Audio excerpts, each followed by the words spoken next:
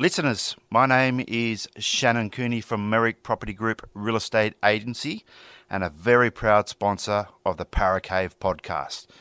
If you own a property in the Penrith LGA or Lower Blue Mountains and would like to know what it's worth in today's market, give me a call on 0421 588 445. Broadcasting live from the Parra Cave, the world famous Parra Cave. Hello and welcome to another bumper episode of the Parra Cave podcast.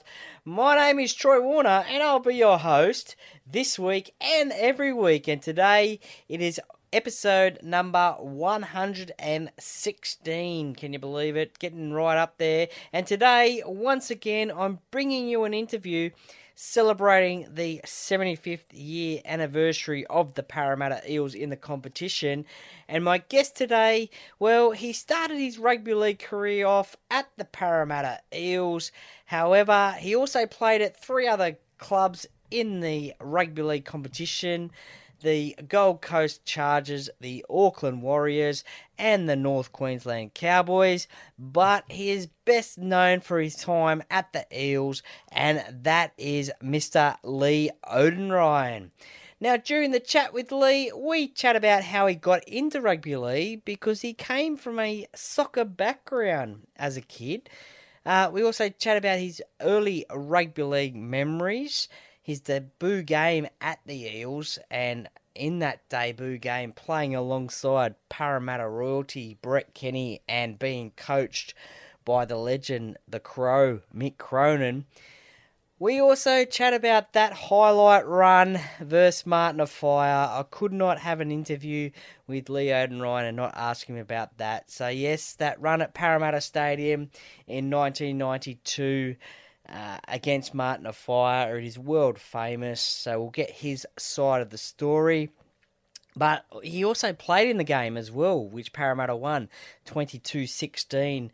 Uh, and he played in that game only after five first grade games. He was already playing an international team. We chat about the Super League wartime, uh, playing for those other three clubs that I mentioned at the top. Uh, retirement and life after footy, along with some common league questions and the personality set of six questions as well, and much, much more. So much to get through, so much to listen to. All brought to you by major sponsor Jack's Pale Ale, exclusively available at Parramatta Leagues Club in the club shop. And also a shout out to co sponsors Shannon Cooney from the Merrick Property Group, who you hear every week at the top of the show, uh, the Stubby Club, and listeners for the best present. You know, Christmas is only around the corner, it is coming up. Uh, for that best present for that sports fanatic in your life, the Stubby Club has a huge range of sports merch and gifts to choose from. All you need to do is just head to the thestubbyclub.com.au and remember to use Paracave at the checkout for a 10% discount. And also Beau Cook from Loan Market, your local Penrith mortgage expert.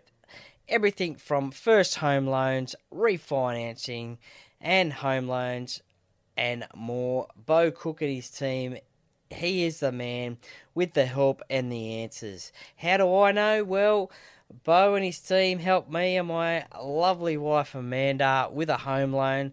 So we have that personal experience with what Beau and his team can do for you uh, during these difficult financial times. They will get you the best deal. So you can contact Beau today on 0401 213 236.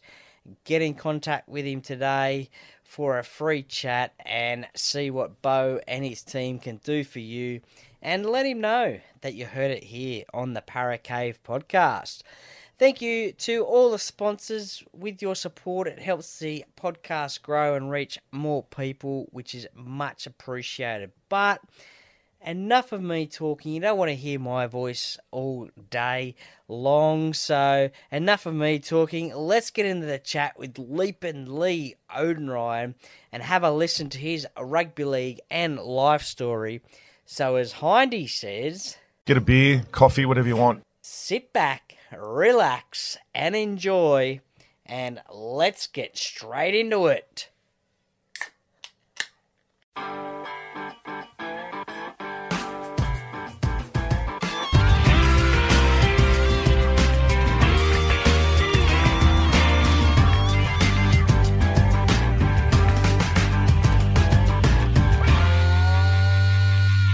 Hi, it's Lee Oudenryn here. Um, I used to play for Parramatta, Gold Coast Chargers, New Zealand Warriors, and a brief stint at the North Queensland Cowboys. And I'm about to have a chat with Troy Warner on his Parra Cave podcast.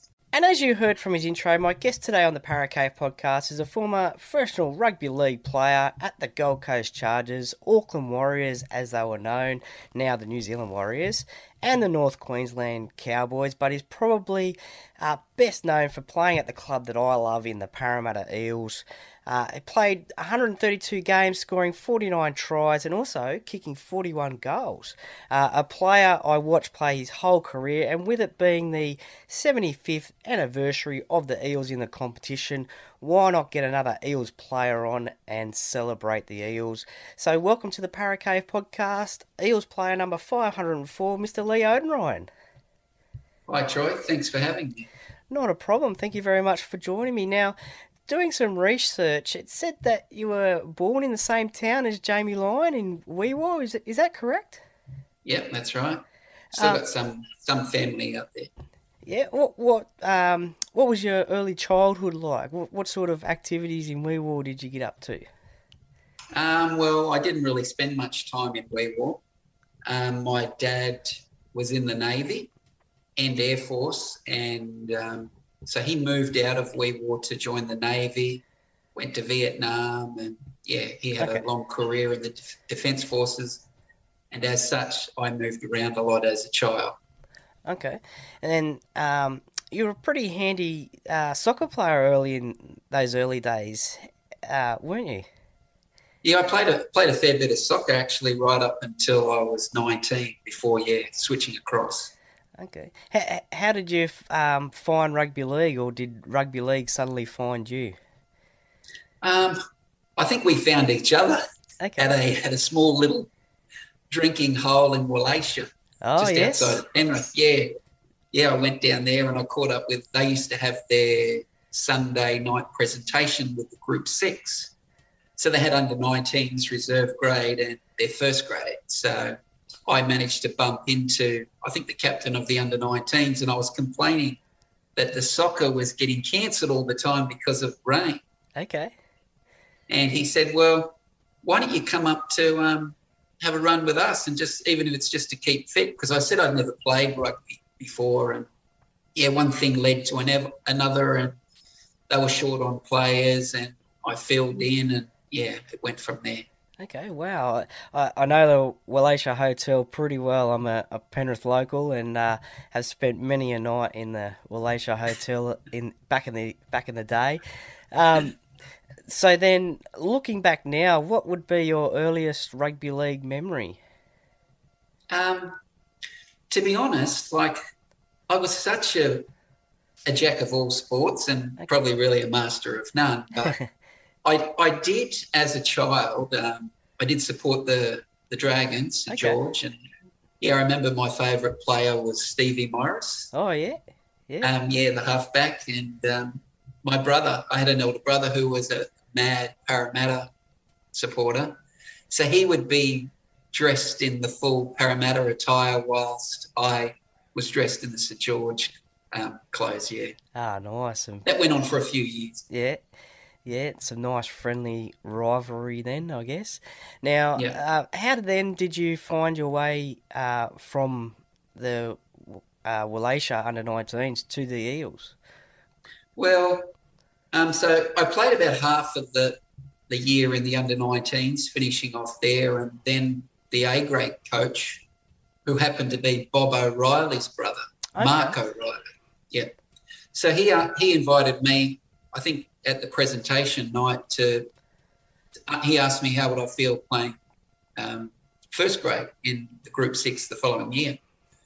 And I said, "Oh yeah, that sounds sounds good." And he just told me, "Well, you need to get a haircut and get rid of that earring." yeah. yeah. So yeah. So it went from it went from there. I played in A grade, and um, I had a good, a really good good year there. Um, still finding my feet um, in rugby league. Um, I actually got offered a contract with the Raiders um, Okay. during that time, but I decided um, that I, I went down there for a trial and I just decided I decided it wasn't the right time for me yet. Um, so I ended up playing the next year. They had um, the Metropolitan Cup. I Yep. think it was just starting. I had signed a contract with the Steelers too, and remember they had the Oh, draft Yeah, yeah. that yeah, that didn't work out on the draft. They they said yeah, I was I must have been like sixth pick or because Graham Murray came around to my house and I signed a contract, but that fell through. And Okay. yeah, cut a long story short, um, I played in the Metropolitan Cup for ten games, but then I broke my collarbone. Um, but the next year, I managed to. Um, I signed with Western Suburbs, trained all, all year with them, and just before two weeks before the season kicked off, they had a bit of a clean out, and I was one of them. Okay. So I rang Mark O'Reilly, my my my, um, my former coach, and he said, "Well, just leave it with me. I'll give Bob a call. I know they've got a trial with the Roosters on the weekend, their last trial before they do their grading." So they got in touch with me and they said, "Yep, you can go there to Parramatta Stadium, and we can't guarantee that you'll get on, but yeah, we'll see what see what happens." And lucky, luckily for me, after 20 minutes, both wingers got injured. Oh wow, yeah. So I got on and yeah, just did my best. And um, they virtually Ron Massey came down and um, I scored like a couple of tries and um, they signed me on the spot. Oh, perfect. Yeah, so that's how it all kick started. And yeah, then um, yeah, it just rest went is- from there. The rest is history. could, could you believe, as a young 22 year old, that you're in the same team as Parramatta royalty in, in Brett Kenny and being coached by the, the Crow, Mick Cronin? yeah, it was everything went so fast, and I was so immature. Like I look back on on my, my time in rugby league, and uh, I was I wasn't only really green and new to football, like which showed obviously a lot when I played, but um, I don't know, I was so naive and immature, and yeah, just it didn't really click until like now I look back and I've got a, a better perspective about about all that time that I, I played. Yeah. Yeah. Um, what was Mick Cronin like as a coach? Because it was struggle times in those early 90s, and uh, Yeah. he was obviously a Parramatta legend, and um, I'm, I'm assuming he'd be like a, a quiet, humble coach. Yeah, he was he's a cha- champion guy, as everyone would probably say. Hey, I'm not the person that's that could probably rate coaches. Um, I would say, yeah, Mick and all the coaches that I had, yeah, they all did their best. Um, I, I didn't find any issues with Mick. The only issue in most of the times in the years that I played was with me and not the coaches. They were all they were all good in their in their own way. Um, I know Mick. Um, Mick had that personality that everyone kind of warmed to, and um, that's probably how he got the best out of the players. And what are your memories of your debut game against the Roosters at the old Sydney Football Stadium? Yeah, I, I still that was probably one of the games you always remember you first, I guess. Um, um, Peter Sterling actually came down. He got injured the game before I made my oh, debut. okay, yeah. Against St George. I think it was against St George. I think he did his shoulder, um, but he went straight into commentary and uh, he came into the change rooms. I know after the game and he congratulated me and he said that's one of the best debuts I've seen. So How it did, how did that make you feel, uh, Parramatta Yeah. legend saying that? yeah, I was I was pretty stoked. Yeah, because all I ever wanted to do, like when I decided that I wanted to try to make it into grade football, I made a decision um, that I was going to chase it. My goal was only to play one one game, Okay, and then then I managed to get a reserve grade game in, and then it, then I set a new goal. I want to play a first grade game. So that's yeah, it was yeah, it was it was um, it was a, an achievement that I always look back on, and something that I'm proud of. Like Jarryd Hayne, obviously in the NFL, like everyone could say, oh, he didn't, Yeah. make it, but he did. He did make it. He, he, he played NFL football, Yeah, something that he can always treasure. Yeah, no, for sure. Um, massive achievement. I mean, I haven't played first grade. You have, so um, yeah, Yeah. no, any any first grader who plays even one game, um, it's a massive achievement. So, um, no, that that's great. We we- we've just seen the new Sydney Football Stadium open up, which is now Allianz Stadium. Um, I think three weeks ago. What are your favourite memories of playing at the old um, old Sydney Football Stadium? Um, I always liked playing there. It was a really good ground. It was always a fast track. It drained well. Um, yeah, so probably not a, a great deal of strong victories or anything. It was some lean years there in Parramatta when I was around, and uh, but yeah, I guess any of these these games that you play, uh, you got to look back and just be glad that you experienced that. Yeah. Um, uh, in those early days, who were the um, older players that took you under their wings? Um, well, I know you like you mentioned previously, we had Brett Kenny and, and we had Mark Laurie when I played. Um, and while at Parramatta there, we had some other players, experienced players, come along as well, in the likes of Paul Dunn and uh, and a few other players, Mark Horo, Yep. play, players like that that were that were experienced. So, yeah, um, Scotty Marn and Oh yeah, a few of them players, um, Shane Flanagan, yeah, Yep. Um, so there was a number of players that had Michael Speechley was another one that comes to Oh. mind. Uh, they were all good blokes, good players, and were doing their best. Yeah. yeah. No, definitely some great names there. Now, as we just said, that 1992 season was a a little bit of a lean season, but there was.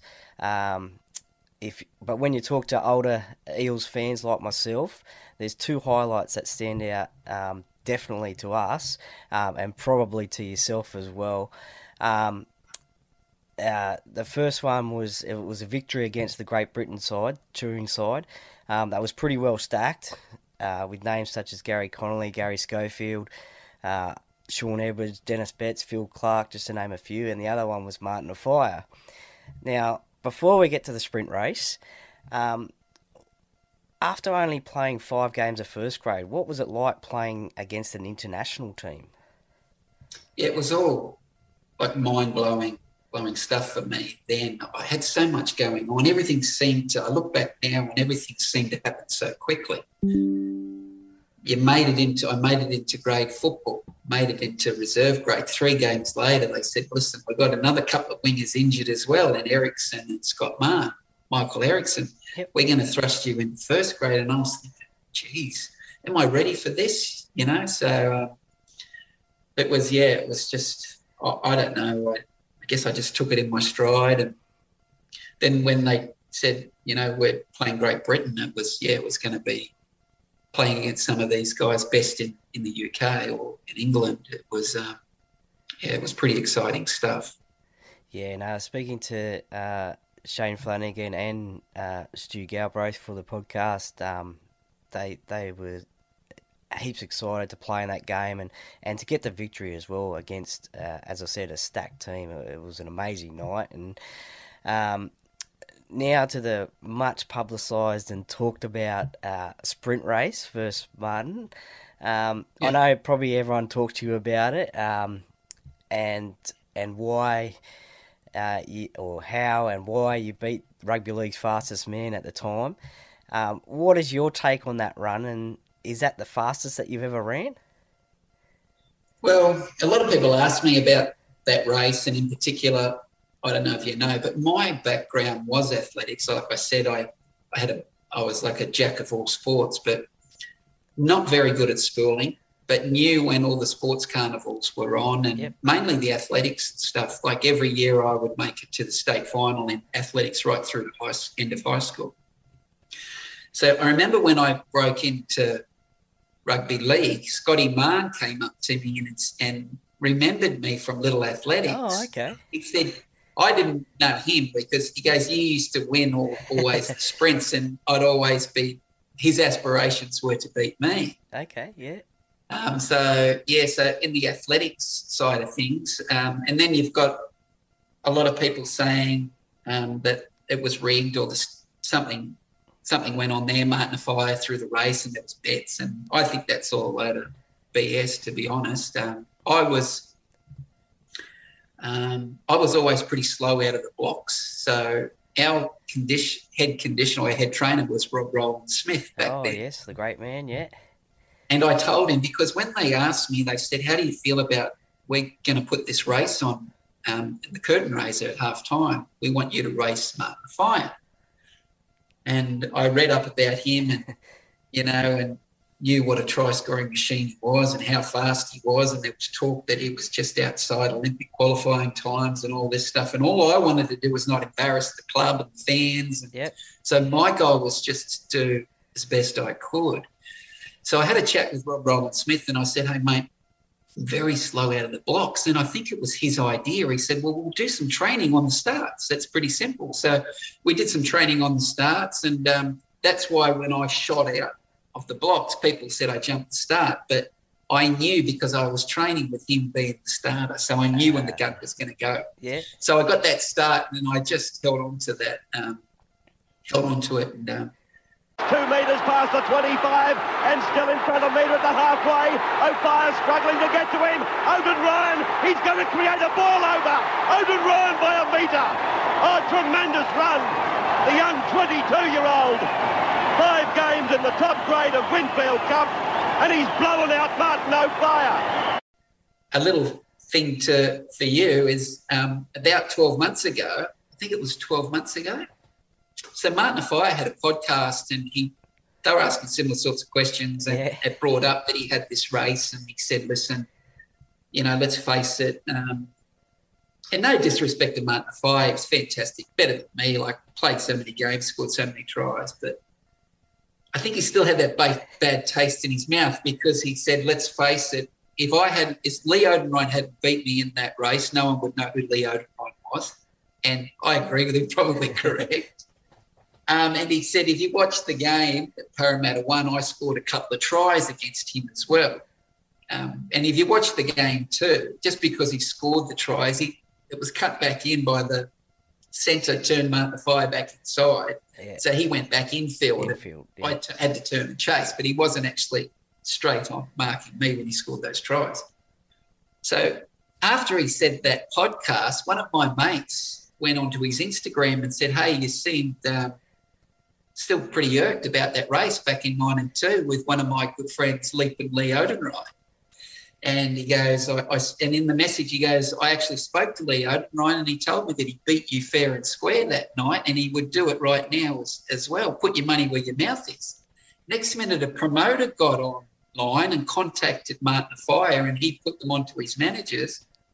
And it was all ready to kick, kick off for another reunion last Okay. year. Yeah.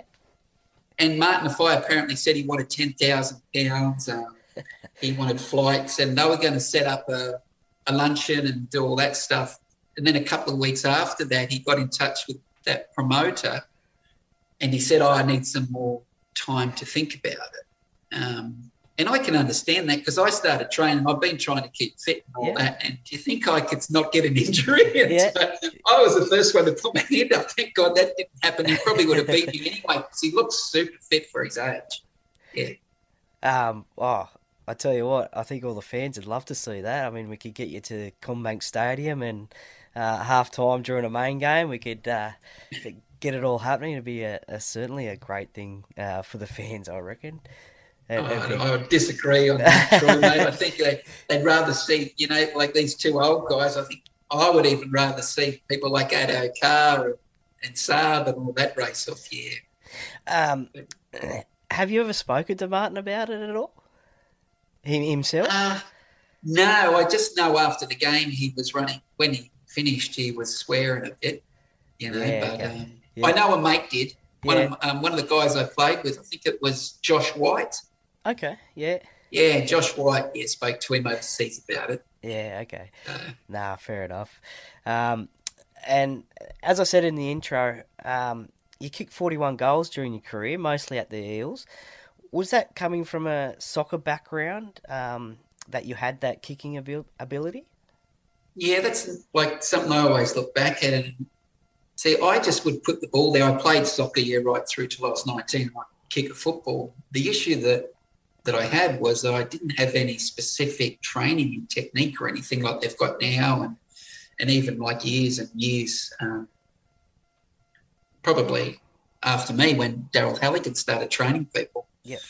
Um, maybe if I had a bit more coaching on the techniques, possibly could have been a, a permanent goal kicker. But yeah, I was just relying on natural ability, put the ball however and just kick it. Hence the reason I didn't go on with goal kicking. Was it the fact that we had the, oh, you had the great man Michael Buettner in the team as well? He was a bit of a goal kicker at the Eels there for a while. He was probably a little bit in front of you. But um, is there a goal? Is there a goal that you kicked that stands out in the memory?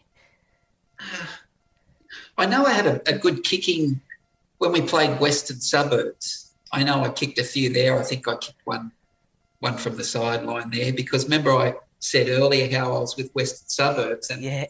They got rid of me two weeks before and we played Western Suburbs and we gave a bit of a flogging and I Ah, kicked I think six from eight, six from eight. So yeah, I was I was pretty happy about that. Ah, nice. Now, 1995 will be your last year at, at Parramatta. Um, Yeah. what are your favourite memories of, of playing at Parramatta? Who who were the people that you like used to hang out with, and um, any favourite memories that stand out? Um, I know the fans were great, always the best fans. Um, in all the te- the four teams that I played for, the Parramatta fans were um, the most avid and you know friendly. Because I used to do a bit of work in the club as well. Okay.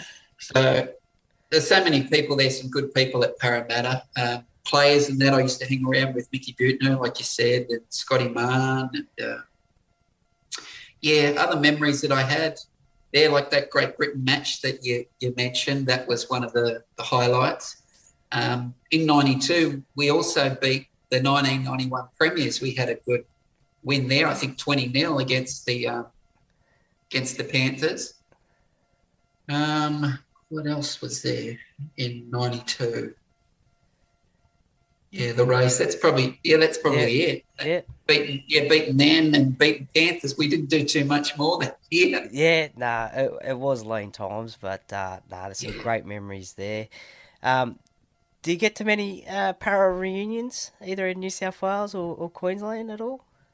I went to the, a first reunion last year, and they had a must have been for the Queensland contingent, and they had it at the Titans ground, and I went and caught up with a few players there. Ah, nice. Mark Tookey was there. Yeah, Tukes, Yeah, Tukes. there was yeah, was a few Yeah. players there. Yeah, nah, Troy Campbell, he's doing some great stuff up there in Queensland, uh, trying Yeah. to get all the boys together again. And uh, nah, it's good that you guys can get together every now and again and share old war stories. And um, in that 1995 season, the uh, Super League was in and around, bearing its ugly head around. Um, what was that time for you like, the Super League time? Because 1995 was the last year at Parramatta. Uh, Yeah. Did you want to stay at Parramatta in '96? Well, I just bought a house there in Castle Hill, but me looking back at um, at my career and my time at Parramatta, um, it was a roller coaster. Like I'm not kidding you. Um, Yep.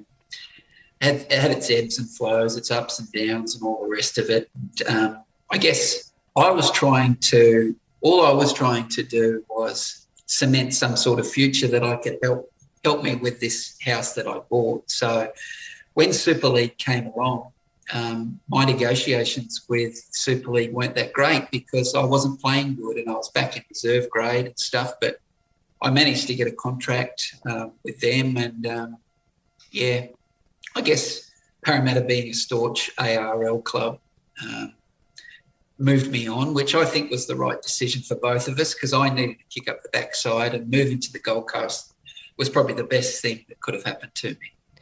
And I've got a question from a, a massive fan of yours, uh, Matty Yeah. Tate from Tate Sports Cards. Um, and he asks, was there ever, an offer or a thought of coming back to the Eels at some point in your career after leaving them? No, there was no No. no truth in that at all. Yeah. No. Um, I know after the Gold Coast, I um, I had a really good year the following year. Um, I guess I knew that I started to grow up a bit, realised that I had debts to pay, and um, I needed to do something if I was going to try to prolong my career. But uh, I I started to get interest, but it was more aligned with the Super League. Okay. Um, because we'd signed, everyone was up in the air about what's going to happen in 1997 yeah. with this this split between Super League and the ARL. So I was obviously feeling around what I was going to do. Was I going to get a contract? Who knows? Okay, yeah. Then it just happened. Well, you mentioned there the Gold Coast. You you were the top try scorer that year for the Gold Coast. Uh, what are your favourite memories of playing at the Gold Coast? I got a lot of fond memories of the Gold Coast. Yeah, I always say it was probably my best year um, in the, the, the seasons that I played um, under Phil Economidis. Um, yeah, I, I guess I took a more professional approach there too. I know I didn't really go out at all. Um, at the Parramatta, um, while I was at Parramatta, I had a lot of, like I said, I was very immature and I was probably worried more about what was going on off the field than rather than on okay. the field. Yeah. But um, yeah, played with some fantastic players um, at the Chargers um, Marty Bella, Jamie Goddard, Brendan Hurst, Jeremy Schloss, um, Dave Watson had come over the Kiwi okay, from, yeah. from the UK. Yeah. And the conditions and training, everything was just perfect. Yeah, we didn't probably make it to the semi finals or we didn't win as many games as we could, but I think Phil brought the best out in me as well. He was a he was a good guy. I used to play a lot of golf with him and yeah, we used to talk. Yeah, some of the guys that I've spoken to uh, on the podcast, I think like Scotty Sattler and um, especially him and a few other guys, Jamie Goddard, they've said that Phil Economidis was a, a, great coach up there at the Gold Coast. Yeah. Uh, now, and then you moved to the Auckland Warriors, as they were known uh, back then was that a tough move to move to another country and keep your rugby league career going? Um, the move was never moving has never been an issue for me. I've done it since, like I said, yeah. I was a kid. Um, every couple of years, um, we would pick up and move with my dad in the Air Force and, and Navy for 26 years. Um, so when I got approached by the, the Warriors, um, I think John Monie and uh, Ian Robson, who was the CEO, they came to watch me play.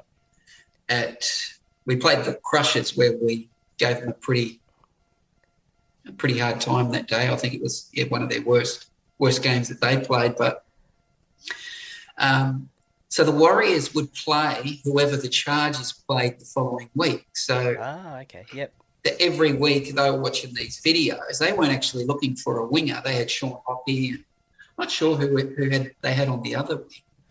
Um, but then my name get kept getting called up. I was scoring some good tries and having yeah. some solid games, and my work ethic was really good. I was, you know, my goal was to try to get the, the ball in my hand as many times as I could because I knew I was fighting for a contract. I only had a, you know, I had a really small contract with the the Chargers. so I knew that I had to pull something out of the bag. And, yeah, they approached me and they flew me over there.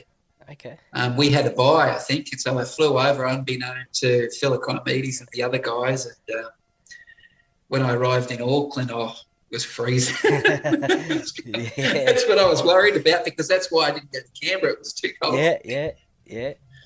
Yeah, so that's how that came apart.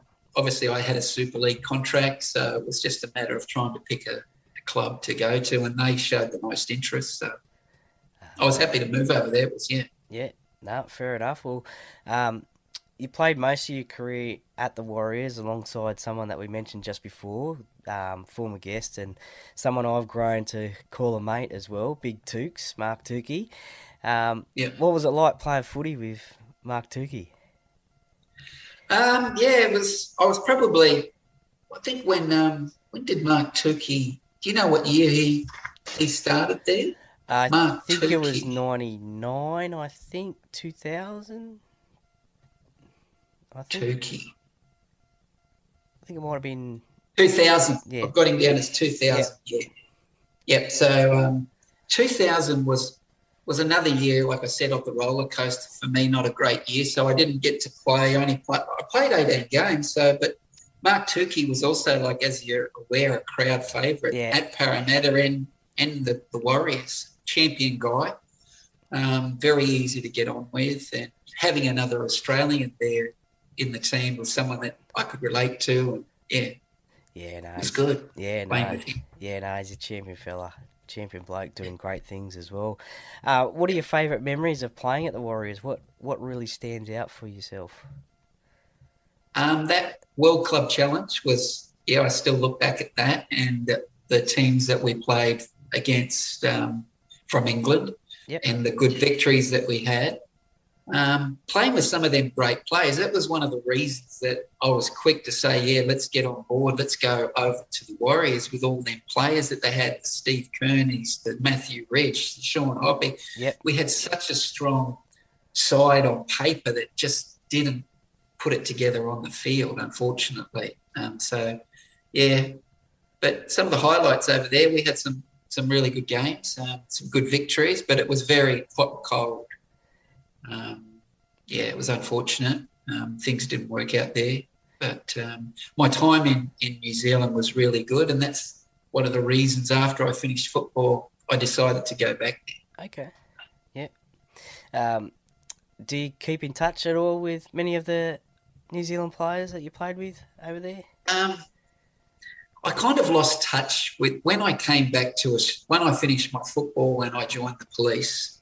Um, I'd matured more as an adult and I was really um, highly driven and like football. I put my heart and soul into the policing, trying to be a detective as quick as I could. And then next minute, yeah, I'm, I'm doing all this serious stuff with the police. So the football side of oh, the, the people at the football and all that culture, I, Yeah. I really wanted to move away from that type Okay. of yeah stuff and and try to to to start a new life because I wasn't a real great person when I was when I was at football. Like I said, uh, Yep. yeah. Nah, that's fair enough. And then uh, after the Warriors, it was a, a move up to the North Queensland Cowboys. How and why did that move come about? Um, Mark Graham, who coached the Warriors for a couple of years, um, he obviously was from there. He was Tim Sheens his offsider. Tim Sheens tried to sign me right at the start of my contract. So Okay, yeah.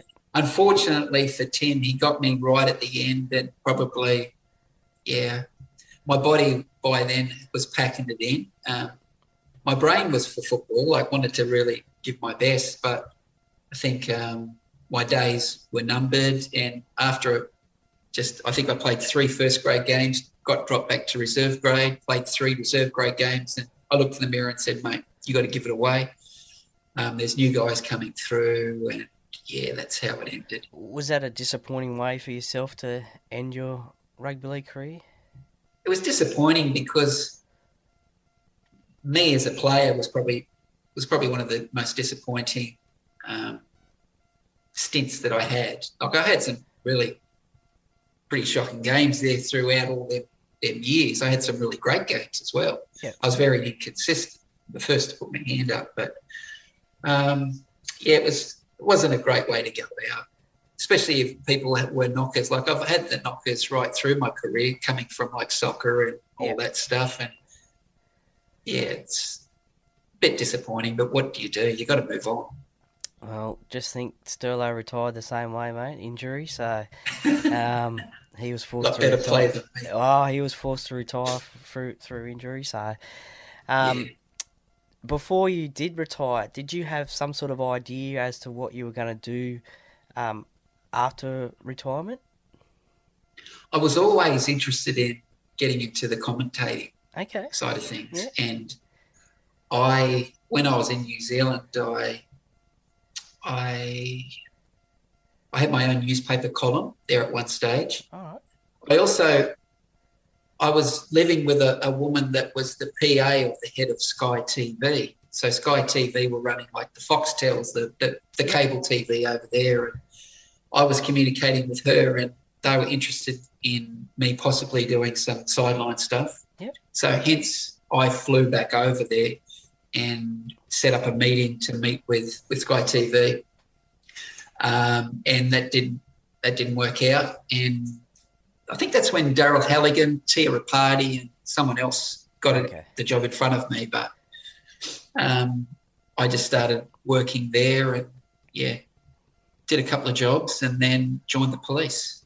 Yeah. How did you handle that transition from uh, playing week in, week out football to uh, a normal, everyday uh, job life? Very, very difficult. Took me years.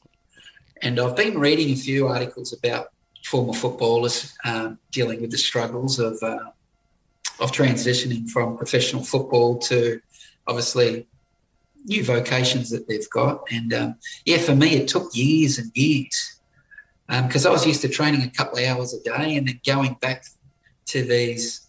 Like I think one of my first jobs was like I was working for Coca Cola, so I was doing these these um, these runs um, from supermarkets and, and obviously dairies they call them over there 7-elevens and it was Yep. full on sometimes finishing as late as 9.30 at night starting at 7 in the morning Yeah, wow.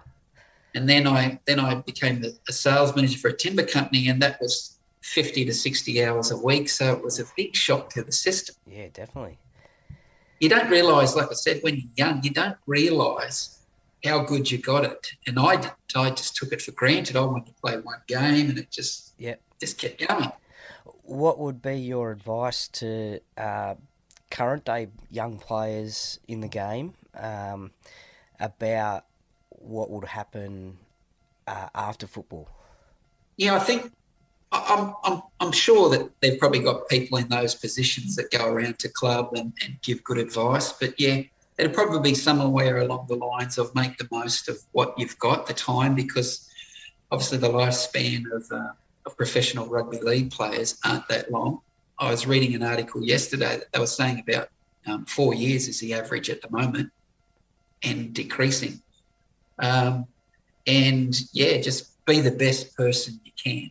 You know, someone that can get up in in the morning and look in the mirror and know that they've not only done their best for the club and their fans, but off the field as well, because that's where rugby league has that stigma. Unlike in New Zealand, like everyone wants to play rugby union and be an All. Black. Yep. But um, rugby league's a fantastic game.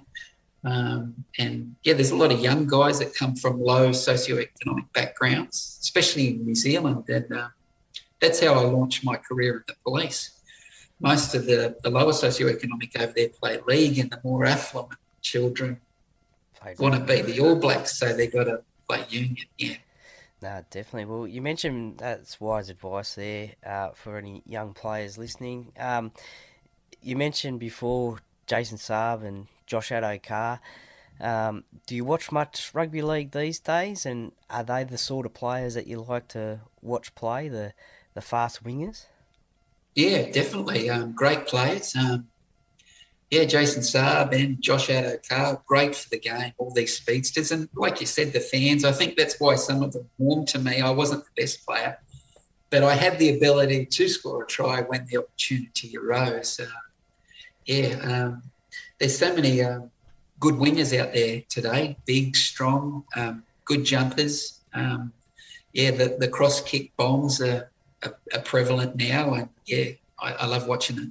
That'd be a, a good match race to see, wouldn't it? Josh Addo-Carr versus Jason Saab. Yeah, I, I, I don't think anyone's got an idea, or no one could be definite to, to say who would win. It'd be pretty close, I would say. Yeah, definitely. Unfortunately, Jason's gone down with a, a ACL, I think. So won't be this year, but hopefully we see it uh, in the future. Now, um, you played for four clubs. Do you Yep. support the game, or do you support a team that you used to play for?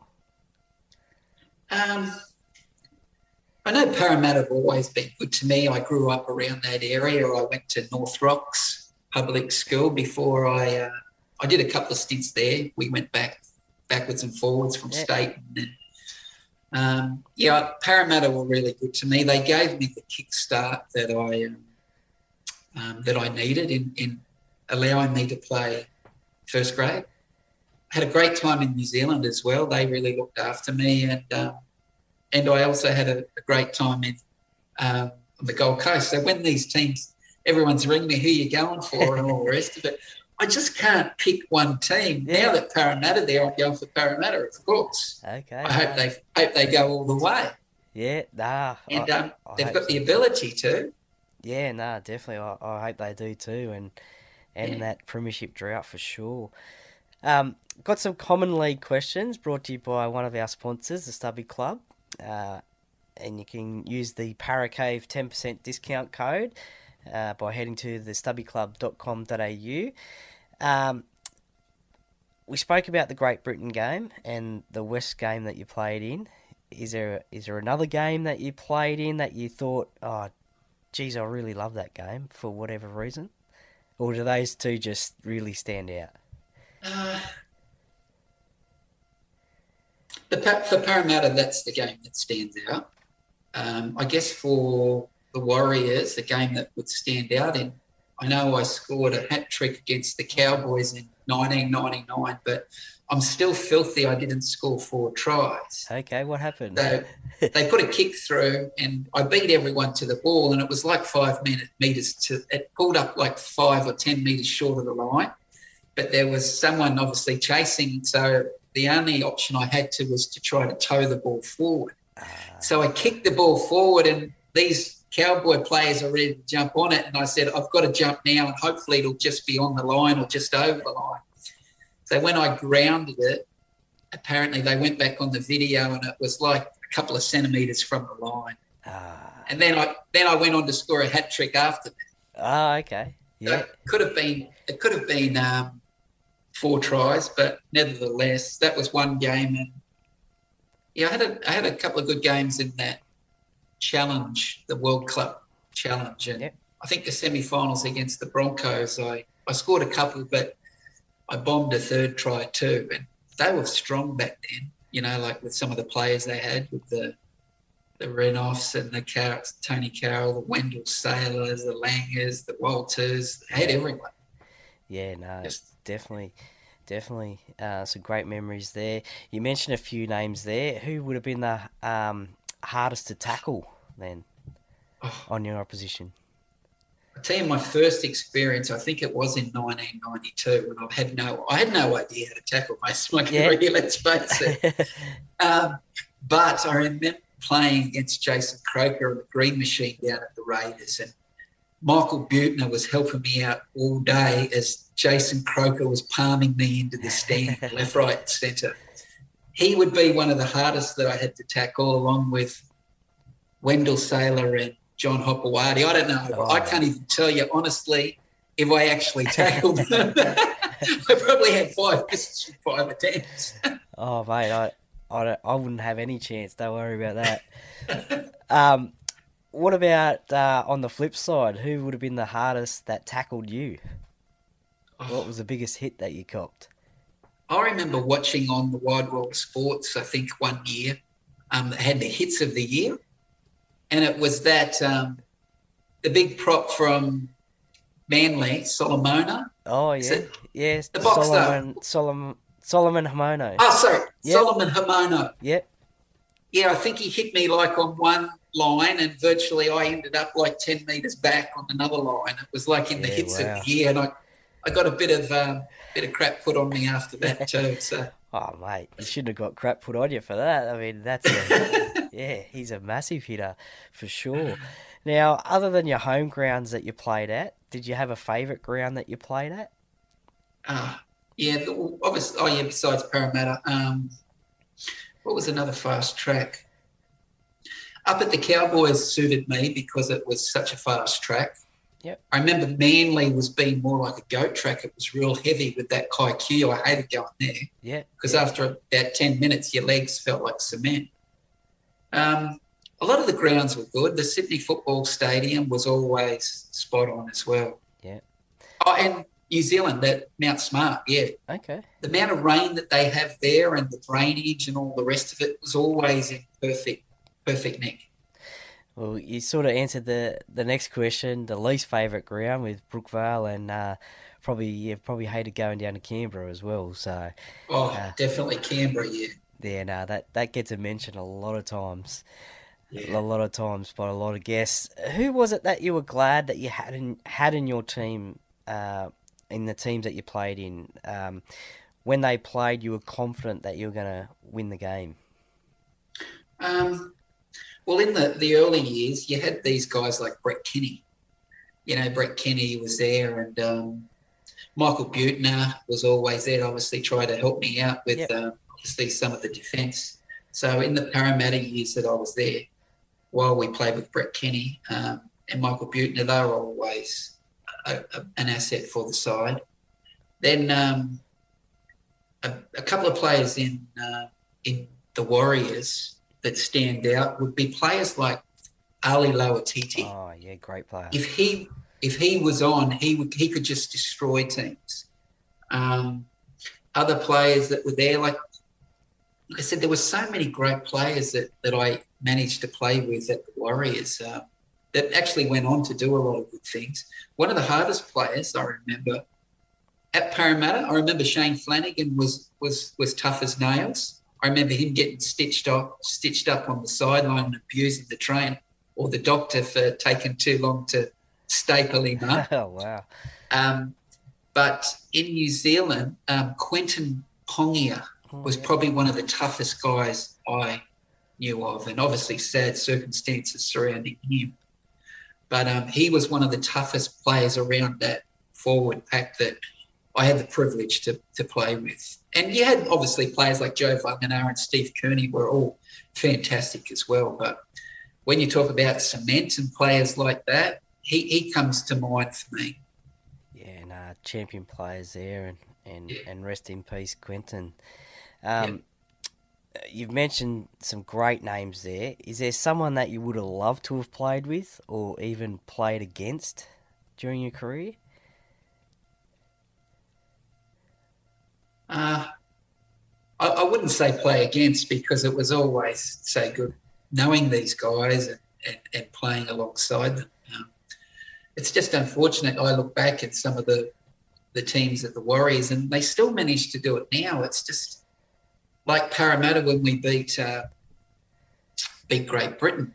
Just you know, just everything comes together. Yep. Um, but yeah, there's so many players like. Uh, Matthew Ridge and all these players, Stacey Jones, they were just fantastic players to play against. Um, What about a player in today's game? Would you love to play against or with?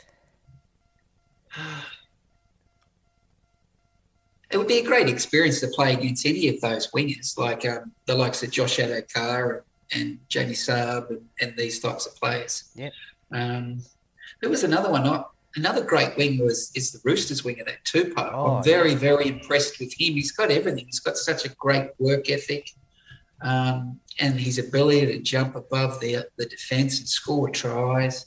There's just so, too many to mention, Troy. That Yeah. um, yeah, that, isn't Yeah, there? It's, the oh. game's the game's changed and evolved so much. It's it's great. Yeah. uh, What are your thoughts on uh, today's game to to when you played? Do you like the way it's going at the moment, or could there be a change or two? Yeah, hundred percent. Like you look at some games and you go, "Yep, that probably would have suited me." better." There's high scoring games. It's you know who scores the most tries.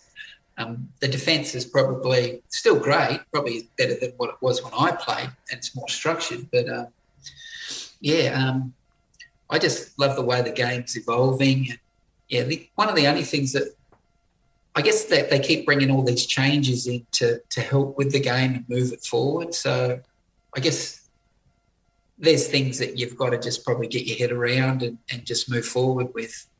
And no doubt you would have loved to have played in the uh, corner post era where you could touch the corner post and still be deemed to score a try.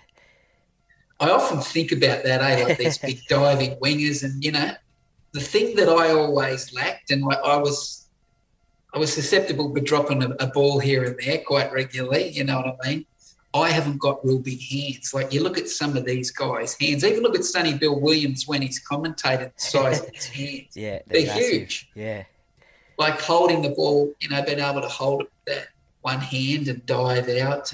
Yeah. yeah, no, they're amazing, amazing. Uh, I, I'm not quite sure how good I would have been at that diving. But you might have Yeah. scored more tries uh, had the corner post rule been in. That's for sure. Um, who did you find in your teams or the opposition was the biggest pest or, or sledger on the field? Uh, I know Matthew Ridge from the Warriors was always the best, and it wouldn't be just on the games. It would be even with his own players on Okay. and off the field. And it would start the minute you walked in to the building for training. And it wouldn't stop until you've gone got in your car to go with him. Um, so there was always a lot of sledging. He was the main sledger that I with in New Zealand. I guess the Manly guys that played alongside him would probably say he was good too. Was I that remember Ricky. Stu- sorry? Was that just to um, get the best out of you guys at, at, at your own club, or um, It- just the type of person he was? I think it's rugby league. You probably talk to a lot of players. There's always banter. Everyone's Yeah. trying to get one over the other person. Yeah, Um, but on the field, like he wasn't frightened of ripping you a new one. okay. Um, Ricky, yeah. Unfortunately, when he got injured and he retired, we didn't really have anyone over there that could step up because although Stacey was a fantastic player, um, he was a little bit quiet. That was if there's any doubt. Um, if there's one thing about Stacey that I could probably pick out, the only thing I could pick out would be possibly his yeah, his talking on the field could have been better. And you were going to mention Ricky Stuart there, I think, before. Yeah, I remember Ricky Stuart. Like, not only did we cop some good hidings down there, but I remember him sledging some of the Parramatta boys and that, you know. And um, I still remember it. I remember him sledging Cameron Blair once and asking Cameron Blair as they packed the scrum why he wasn't playing reserve grade.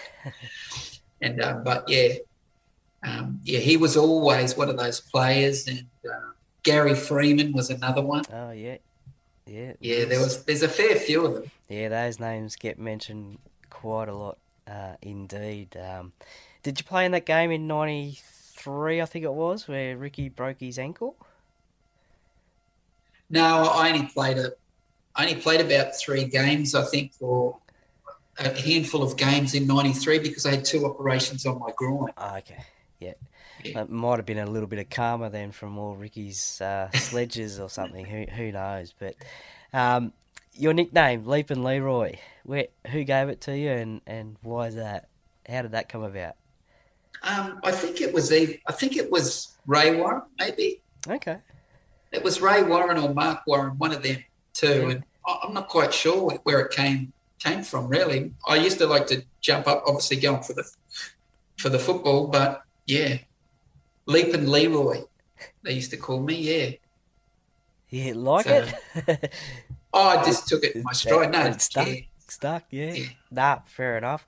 We'll, we'll wrap things up with the personality questions, the segment I call Yep. the Set of Six, brought to you by Jack's Pale Ale, exclusively available at Parramatta Leagues Club. Um, you said at the very start that you were a jack of all trades, master of none. Um, so, what would be your favourite sport outside of rugby league? Um, it'd have to be soccer. Yeah. Yeah. But things just didn't work out with soccer. Um, yeah, I had a big break with my dad moving around um, in the really important ages between, say, 13 and, say, 13 to 16 or so, like that, then three years Yep. where I stopped playing soccer. Yeah, they kind of yeah, impacted on me a, a fair bit. do you watch much of the EPL? None of it. Nah, okay. Nah. I don't follow soccer or anything now. It's Okay. just like league. Yeah, yeah, I can watch the I can watch the Union as well because Okay. I lived in New Zealand for so long. Yep. Um, yeah, I'm right into the Union as well. Yep, nah, cool. Uh, what's your specialty dish in the kitchen or on the barbecue? um, I, I cook a fair bit of um, Thai food. I used to work at a, a Thai restaurant when I was in New Zealand, and Ah, I was actually sponsored by a Thai restaurant. Ah, nice. Nice. And yeah. um, the guy's still there. He's still there in Auckland. I spoke to him about a week ago. oh, okay. Yeah. Yeah, so I hadn't spoken to him for ages. That, and I used to take some of the warriors down there at lunchtime, and they would have a feed of Thai. Yeah. Yeah, nice. But I, yeah, so I, I cook a lot of Thai food. Yeah, I don't mind a bit of chicken pad thai myself. It's not too bad. Um, who is the most famous person you'd love to meet and have a chat with? Who would it be?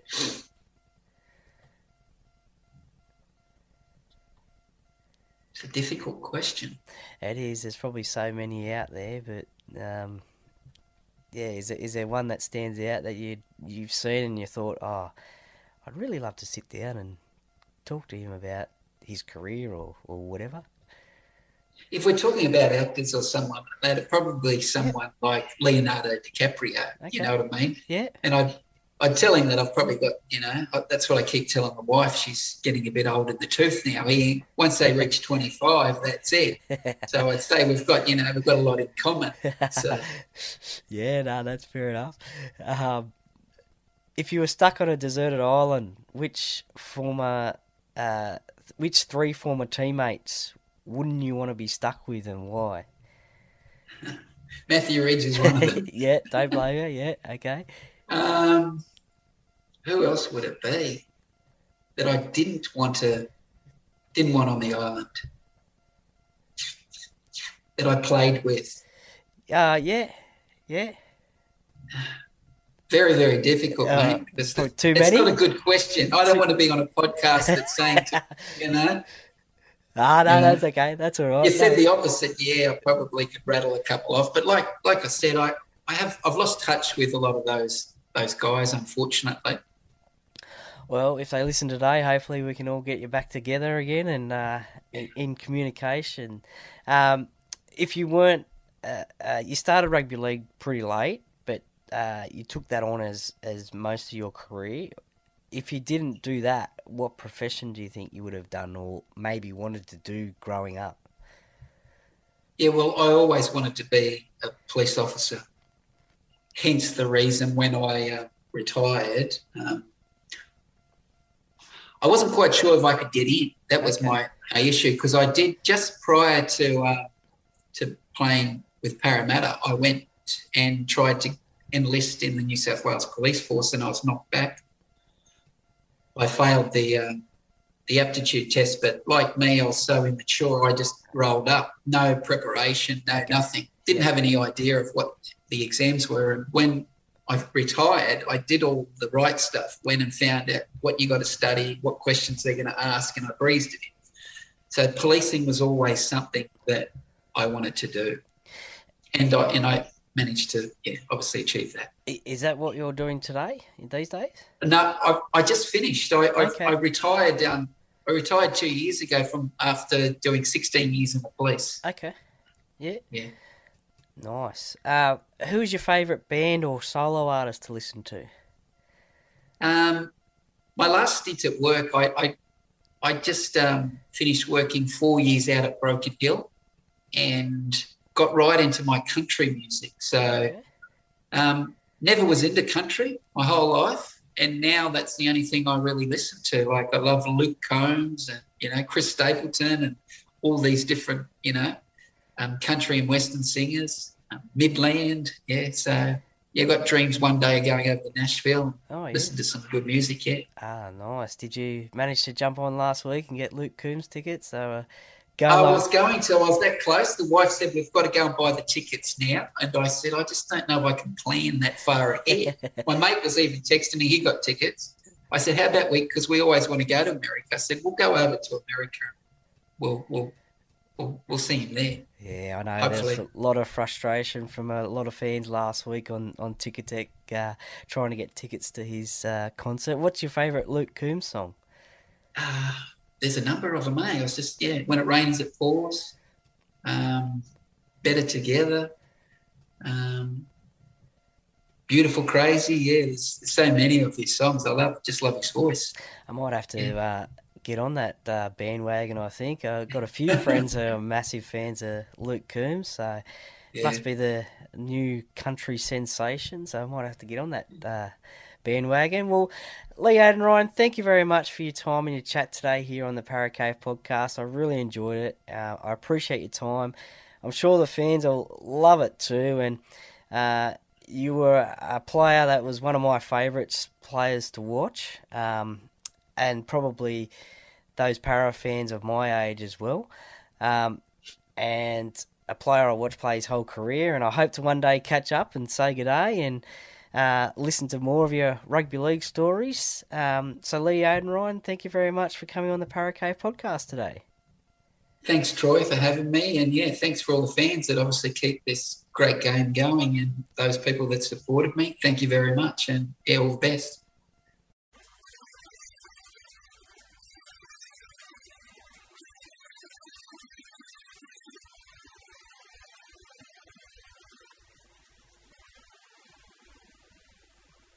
Well, welcome back, and thanks for listening to Lee Oudenryn and his rugby league and life story. I really enjoyed it, and I hope you did too. It was great to chat again to a player who played at the club that I love in the Parramatta Eels and celebrating the Parramatta Eels 75th anniversary. Uh, I thank Lee for his time and his chat. One of my favourite players from back in the early days watching rugby league and the Parramatta Eels. I hope to maybe catch up next year. They're up there in Queensland when Parra plays up there and say good day, Lee. So hopefully we can do that. Once again, a quick shout out and thanks to Jack's Pale Ale, the fantastic major sponsor of the podcast, for supporting the podcast. Don't forget, Jack's Pale Ale is back and available to purchase in the club shop. It is perfect for that Eels fan or beer lover. Drop into the club shop and get some today, and also keep an eye out on the Parramatta Leagues Club socials for the Monday to Thursday specials in the bistro as well. Some great deals there. Thanks also to co sponsor Shannon Cooney from the Merrick Property Group Contact Shannon for all your lower Blue Mountains and Penrith real estate needs, either buying or selling. And also the Stubby Club, thank you. And don't forget to head to www.thestubbyclub.com.au and order your NRL or EPL or AFL or um, what's the one in America? The NFL. There we go. Merchandise today using the Parra Cave discount code, and you will get 10% off. And also, Beau Cook from Loan Market. Once again, his contact number is 0401 213 236. Get in contact with him for a free chat and see how he and his team can help you get on top of your home loan and find you that best, the best deal. Please support these businesses that support the podcast each week that help bring you quality entertainment. Share the love on socials as well. Thank you once again to you, the listeners, for listening to David Penner and his rugby league and life story. Wasn't it interesting? There was some laughs thrown in and some really interesting stories. What was your favourite story of the podcast? Let me know on the socials or leave a review and comment on the Apple Podcast site. Thank you for sharing and that podcast with your family and friends. And don't forget, if you haven't already done so, please subscribe to the podcast so as soon as it drops, you will be able to listen to it. And finally, or also, you, not finally, also, you'll be able to catch me, yours truly, on the Pulse FM 89.9 eh, radio station each week on a Friday and a Sunday. Uh, these days, we're going to be talking about the Rugby League World Cup now that the NRL season has finished. Uh, and that will be with the Duckman himself on Duckman's weekend sports wrap show. So it's usually about 6:20 p.m. each of those nights and it's on 89.9 FM radio. Thanks again also to the official media partner of the podcast, the Parramatta Times. For all your local Parramatta news, simply head to www.parramattatimes.com.au. Thank you to all those associated with the podcast. It's most appreciated. In the meantime, though, uh, until next week, stay safe wherever you are listening from in this world of ours. Uh, to the podcast and enjoy the Rugby League World Cup that is currently on. And speaking of the Rugby League World Cup, a shout out and thank you to all the listeners from the USA, UK, New Zealand, Ireland, France, and of course the Aussie listeners. Thank you for listening to the podcast each week and the support. I really hope you enjoy it.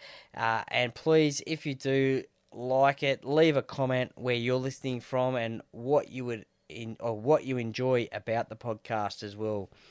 It'd be really interesting to see and and and read where you're listening from.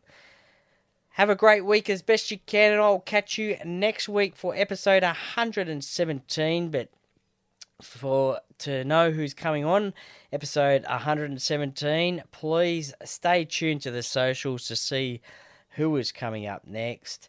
And once again, if you want to send me a DM on socials, by all means, go ahead. Always up for a chat about the greatest game of all and the Parramatta Eels, or who you would like to see come on the show.